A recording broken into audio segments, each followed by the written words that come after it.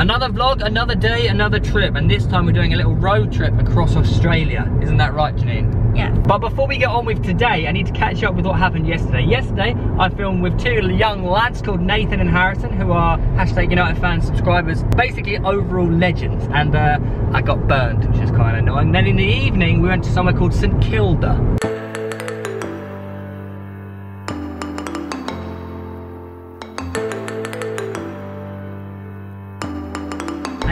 Brings us to present day, where we are currently in somewhere called...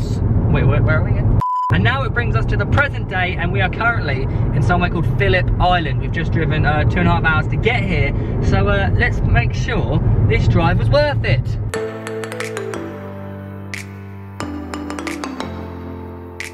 So the first place we're going is a koala conservation uh, place where uh, we're going to see some koala bears in real life. Also, I'm going to have to wear a hat, guys. Yesterday, you know I just said uh, I burned a little. Don't know if you can see up there. There's like, like scab bubble things on my head.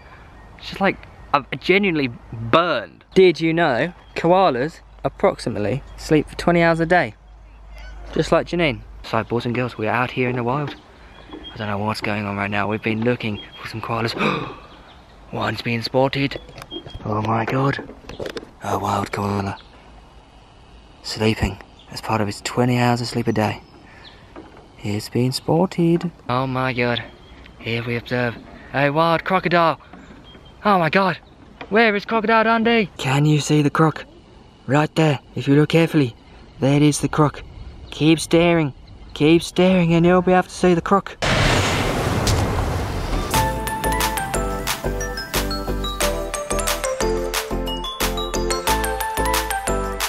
So, uh, you wanna, uh, you wanna go for a drink sometime? This one's crazy. This one's absolutely crazy. He's trying to get, oh, he just sat on a screw that went into, oh, oh, where you going? Look at him, mate. He's like, uh, he's like Ninja Warrior. He's on one. Who's gonna win the race? Oh, oh, he's just hiding from us. Okay. Please focus, please focus, please focus, please focus. Boys and girls, it's my first sighting of a kangaroo. I've never seen a kangaroo before. And they're not meant, there's two. they're not meant to have to. There's another one here. Oh my god. Wait, where is it? There it is. They're not. I swear. I swear they weren't meant to have kangaroos here. Go on. All you Australians watching this video right now, go on. Make fun of me for getting confused between a wallaby and a kangaroo. I'm waiting for it. Come on. And I can already hear your keyboards typing in the comments down below. Theo, that's not a kangaroo, that's a wallaby. I know, boys and girls, okay? We've left the koala bear conservation and we're heading to somewhere which is like an immersive Antarctic uh, viewing thing. But en route, on Phillip Island, we have, uh, as you can see in my sunnies, I don't know if you can see it, but guys, we, we came across this viewing platform. Wow, just wow. I can't stress enough. If you ever get the opportunity and you can travel during your life, maybe in between college and university or whatnot, travel, Do an exchange. see the world. Or do an exchange as Janine is doing, yeah. This place is just insane.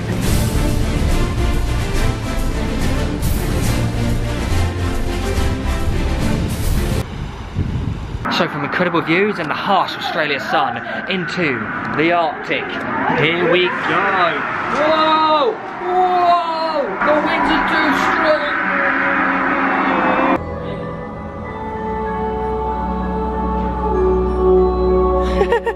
Sat down, having dinner on the beach. I've gone for classic fish and chips. Janine's got a, um, I mean, Grow a fish. You've just got a grilled fish. I mean, check out that. And then you got that.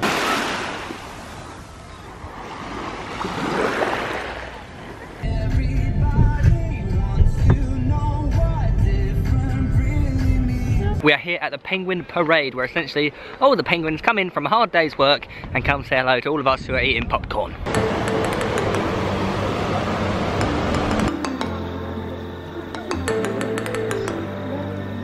tomorrow. Welcome back to the road trip. We've driven about an hour and 15 minutes out of Melbourne to somewhere called, where are we? The Chocolatier. Yarra Valley. Yarra Valley. And in particular, we're, uh, we've gone to a chocolatier, first of all, because he doesn't like chocolate.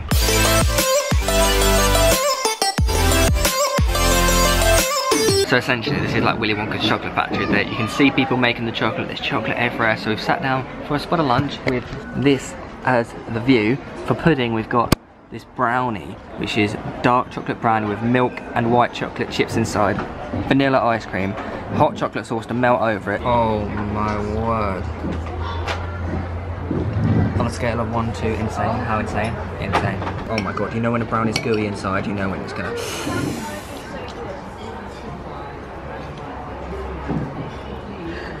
This is the 34 degree harsh Australian sun garden bush tucker challenge. Flies add to the challenge.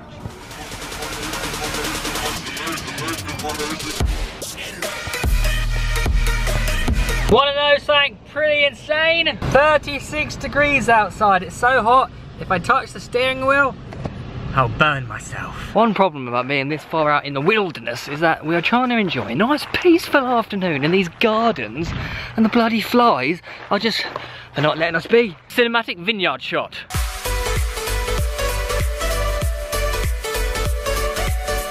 Made it back to the city and in particular we're now on Janine's uh, apartment's rooftop barbecue area. Over there we've got a little barbecue thing set up going on. Uh, I'm gonna have a beef burger and some chicken skewers and Janine's having fish. Tomorrow for sure.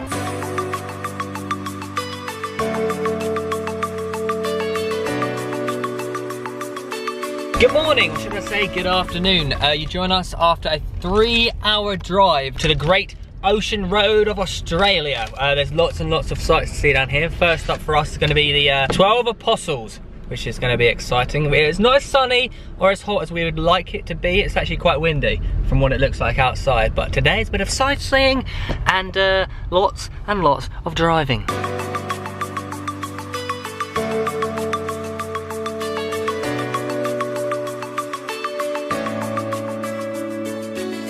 Stunning. Absolutely bloody stunning thoroughly enjoyed that. 12 apostles. Now we picked up a little treat at the gift shop. Okay we've got these things. They're called pods with Twix. Treat it like trying Australian candy. You know what? They're nice but I've been let down. Do you ever have those moments in your life when you think you're Jack Sparrow in Pirates of the Caribbean? Because right now, boys and girls, I've got that moment in my life.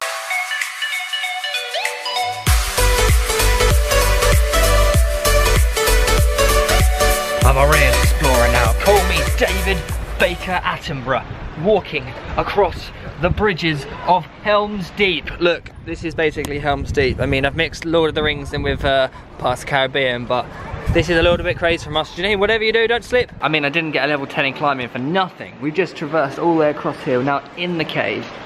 And now we're going up into the dark, misty, and gloomy cave. Are you scared? Are you scared? No, I'm alright. This tide is coming in, so we could get lost in here.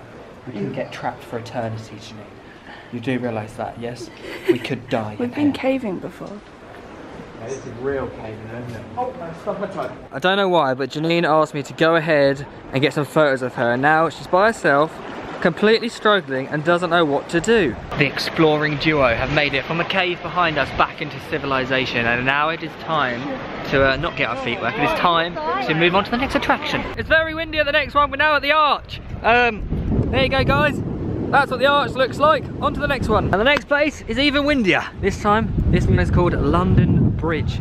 Uh, I mean, we're not in the UK, Janine, but apparently there, there was a little thing that went over there and made it look like London Bridge. Do you agree? Let me know in the comments. And the final viewing platform, performer, arena, location we are visiting is the grotto. And yes, the grotto hasn't really been a good start for us. Janine just fell over. She slipped. Look, look at that poorly elbow. Show everyone. Tap, have a little. the mark that it's made. Yeah, it's like, oh, look at there, around there. You've even ripped your jacket round there.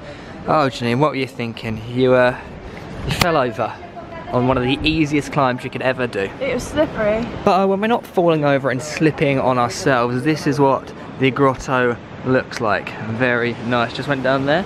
Take you for your Instagrams, and if you're not following me Instagram, follow me at Theo Baker underscore. Oh, and you could follow Janine as well, but mainly me. And that is the last attraction we are seeing on the Great Ocean Road, and that is actually pretty much going to be the end of our road trip. We're about to head home. Three hour drive home. But I know what you're thinking right now. Theo, what is the car you've been driving all weekend? We want to see it. We want to see what car you had. And boys and girls, wait until you see this. And three hours later, I can finally show you my brand new Toyota Corolla Ascent. And if it focuses, you might be able to see it. Here it is. I actually have really enjoyed using this car this weekend. It has done nothing but surprise me. And uh, I'll tell you what you get with it, okay? So if we go inside, this is it by the way. It's a nice silver looking thing. It's a, it's a, it's a, it's a five door hatchback which I, I, do rate to be fair. Even when I had my BMW, that wasn't five doors, that was only three doors. So this is a step up if you do say so. One thing you get with it is a free Janine. Comes free with all with all uh, Toyota Corollas. Also a little convenience that comes with it, okay? Not only does it have a free Janine, it's also got cruise control, which I actually bloody love. In here, we got a little pocket where you can stash all your all your goodies, all your all your little Twix things, and your and your uh, Sunglasses. It is also an automatic, which is an absolute lifesaver, especially when you've done a three-hour journey. So uh, changing gears on a three-hour journey is not really me. It also comes fully equipped with aircon and USB functionality, so we can listen to all the great songs we know and love.